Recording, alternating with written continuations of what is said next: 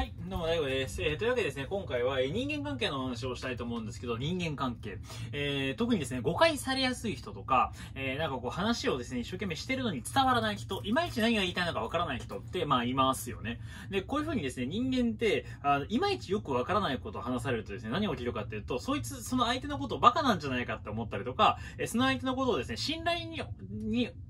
足らない人間？信頼できない人間？っていうふうにですね、考えるってことが、まあ言われてるわけですね。まあ要するに僕らは、あの、偉い人でも何でもそうですけど、あの、難しい話とか、わけわからない話をですね、難しい話をですね、ややこしく話されると、やっぱ人間って自分のプライドを守りたいわけですよ。で、どうなるかっていうと、相手がバカなんだっていうふうに考えてですね、自己自分を落ち着かせるってことをですね、結構やるんですね、人間っていうのは。で、これにですね、皆さんが引っかかってしまうとどうなるかというと、皆さんの説明が分かりづらい。ね、分かりづらい。言ってることはよくわからない。で、どうなっちゃうかっていうとですね、よほど皆さんにカリスマ性があるわけじゃない限り、えー、基本的にはですね、周りから人が離れていっちゃうわけですよ。だから説明するのが下手な人っていうのはですね、よほど特殊技能がない限りは生き残れないんですね。その社会の中ではですよ。そう。だから、そういう意味で言うと、せっかく能力があるし、別に悪い人じゃないのに、なんかこう、何考えてるかわからないとか、いまいちとっつきづらい人っているんですけど、えこういう人はですね、説明能力の低さっていうのは結構問題になってくるんですね。で、というわけで今回は、えー、人間関係で損をしないためのですね、話し方のポイントをですね、一つご紹介しようかなというふうに思います。伝わらないを伝わらに変えてくれるですね、伝わらないを伝わるに変えてくれる、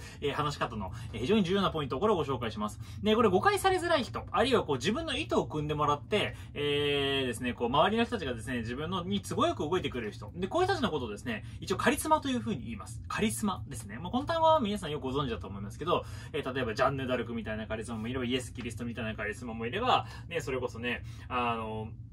リンカーンみたいなカリスマもいるいろんなカリスマがいるんですけど、基本的には、ま周囲の人を上手にコントロールしたりとか、引き入るのがですね、上手い人たち。これをですね、僕らは、えカリスマというふうにですね、考えるわけですね。で、このカリスマの人たちってなんか特徴あんのって話なんですけど、えー、実はですね、いくつか、えー、こういうカリスマに関する研究っていうのは行われてまして、えー、企業のですね、大企業の、え社長候補生とか、幹部候補生とかに、こういうですね、えカリスマに関しての研究を行っている人たちが、えその研究成果から、えカリスマ能力をですね、アップするためのトレーニングとか、そういったものをですね、結構行ったりしてるんですよ。で、今日はですね、そんなトレーニングの中から、えー、2009年、クレアモント・マッケナ大学がですね、えー、企業の役員に対して行った、えー、カリスマ、えー、独自のカリスマトレーニング。で、かつですね、このカリスマトレーニングのですね、内容のですね、一部を今日はご紹介するんですが、このクレアモント・マッケナ大学のですね、えー、カリスマアップトトレーニングっていうのは結構すごくて、えー、8週間だけ行ったんです。この8週間のトレーニングでカリスマ性がですね、1.6倍まで上がったっていうですね、結構すごい、あの、トレーニングがあるんです。で、この中から今日は一つ、えー、まあ皆さんが別にカリスマになりたいわけではないと思うんで、人間関係で損をしないようにする、変な誤解を生んだりとか、だかいまいち職場の人と話が合わない、うまくいかないとか、こういうのをですね、なくすための非常にいい方法と具体的な対策をご紹介したいと思います。はい。えー、これ、えー、カリスマのですね、実は、えー、特徴の一つなんですけれども、ストーリーテリングがうまいっていうのがですね、ストーリーテリング。ストーリーテリングってのは物語を語るってことなんですけど、あの、カリスマの人たちとか、えー、周りから見た時にあの人は分かりやすいし、話してることがよくわかるから、もっと話を聞きたいってふうに思われる人たちって、どういう特徴があるかっていうと、逸話を上手に使うんです。ストーリーをすごく上手に使うんです。一方、カリスマ性が低い人とか誤解されやすい人ってのは本当単語とかしか言わないし、ストーリーとか物事が順序だってする説明とかもないんですよ。つまりまあ、いわゆるこう、ロジカルな説明っていうのは順序だって物事を説明するのがロジカルな説明ですよね。それをはるかに超えるのは何かっていうと、ストーリーテリング。その、ロジカルな、あの、箇条書きとか説明じゃなくて、それ一個一個の要素がこう絡み合っていて、一つのストーリーを紡いでるようなもの。で、こういうストーリーテリングっていうのがですね、高くなると、えー、人間はですね、カリスマ性が高くなってくるし、えー、人間関係でも損をしづらくなるってことなんですね。というわけで今日はですね、そんな、えー、ストーリーシェアトレーニング、これをご紹介します。えー、基本的には自分が言いたいことを何でもいいんで、そこ物語の一節とか小説とか逸話にですね、変換して相手に伝えるっていうのがこれストーリーシェアっていうですね、えー、技術になります。はい。えー、これ分かりやすくだから名言とか、あの、逸話とかを使ってあげるのが一番いいんですよね。例えば、えー、例えば皆さんが言いたいことがであるとしましょう。大事なことに、最初はね、まあ、えー、練習してもいいですけど、全部にこれストーリーテイングやると結構大変なんで、自分が大事なことを伝えたいなって思った時には使ってみると。で、これ使って練習したりとか、えー、していく。あるいは僕の場合、僕最初練習した時にね、あの、自分が言いたいことを書いてたら、必ずその下にそのストーリーをですね、伏すと、くっつけると、えいうことをですね、やって練習しました。例えば、えどんなえー、こう、子がタイプなのとかっていうふうに、まあ、時々こう聞かれるわけですよ。そんなに人に会わないけど。で、僕がね、あのー、いいなって思う女性はですね、実はアインシュタインの奥さんなんですね。ちょっと今やってみます。アインシュタインの奥さんなんですよ。で、まあ、アインシュタインの奥さんっていうのは、えー、どういった人だったかってことをこれから話するんですけど、えー、まあ、わかりやすく言うとね、自分のことを分かってくれる人のことが好きなんですよね。まあ、すごく素直で、で、かつこう自分のことをちゃんと理解してくれる人。僕、ややこしい人間なんで、ややこしい人間なんだけど、僕のことを理解してくれるような女性がいいなって。メンタリストなんでね、人の頃読んでばっかりだったんで、一緒にいたらですね、僕は読んでもらえるような人がいいなっていうふうに思うわけですよ。で、こういうふうに、言うと、今のは論理的な説明です。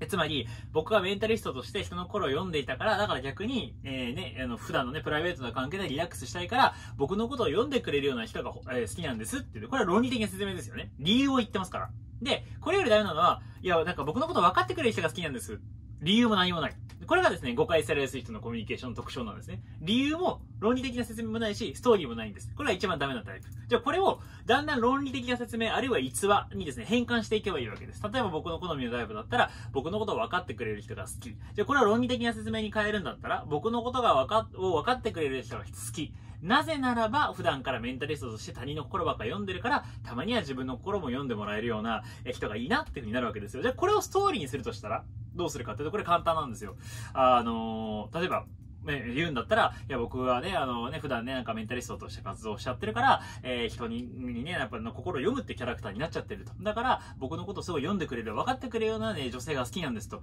で、実はそういう女性って、なかなかいないなっていうふうに思うと思うんですけど、でも実は歴史上にいたんですと。それが実はアインシュタインの、え奥さんなんです。あ、2番目の奥さんの方ですね。はい、2番目の奥さんの方なんです。えー、あの、アインシュタインの語録っていうのがあって、この語録とかストーリーを見るとですね、アインシュタインがいろんな名言を残してるんですよ。例えば、なぜかという問いは、えーその答えの100倍重要だとか、えー、ね、あの、いわゆる科学をね、あの、超える唯一のものはですね、想像力だとか、まあ、いろんなこう名言がですね、いろんなもうアレンジとかを加えられて、世界、世界中にですね、あるわけですよ。で、こういう語録を僕読むの好きなんです、アインシュタイン好きなんで。ところがですね、一番好きな言葉は、アインシュタインの奥さんの言葉なんです。で、どういう言葉かっていうと、あの、実はアインシュタインって、一、最初の奥さんとはですね、うまくいかなかったんですよ。で、この最初の奥さんは、物理学者だったんですね。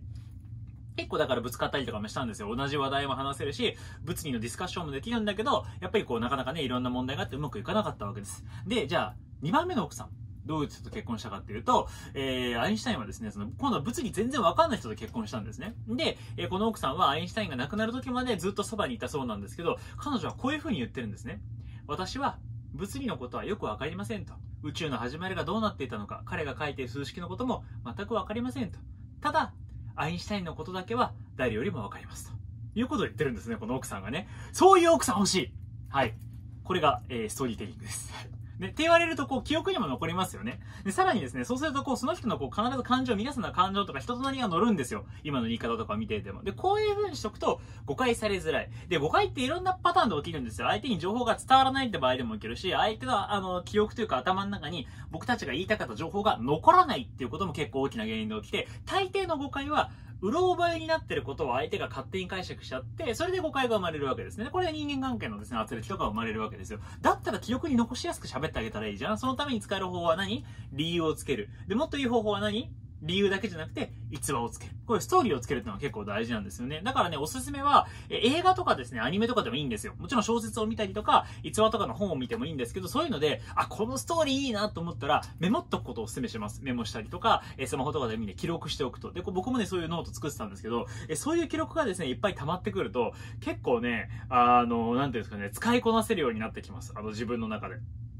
で、これが使えるようになってくると、あの、他人に話すときも説得力が上がるし、やっぱ人を引きつける能力が上がるので、えー、一生懸命コミュ力をですね、上げて頑張ろうとか思わなくても、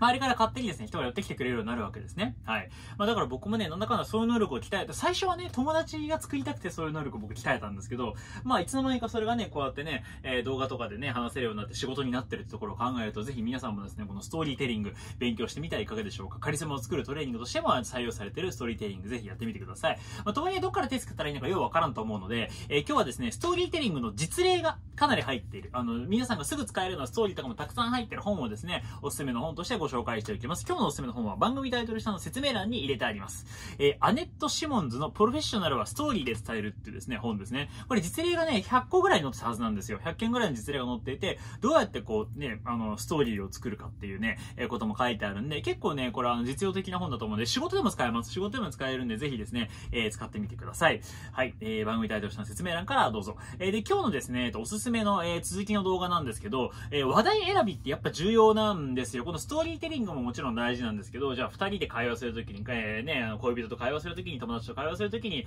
えー、仕事相手と会話するときに、どんなストーリーを選べばいいのか、どんな話題を選べばいいのかってことも結構大事になってくるわけですね。この話題の選び方がわからないと、何から喋ったらいいのかわからないから沈黙しちゃったりとか、話が滑っちゃったりとかとかして、まあ、ミスミスにチャンスを逃すっていう人が結構いるんですよ。だから、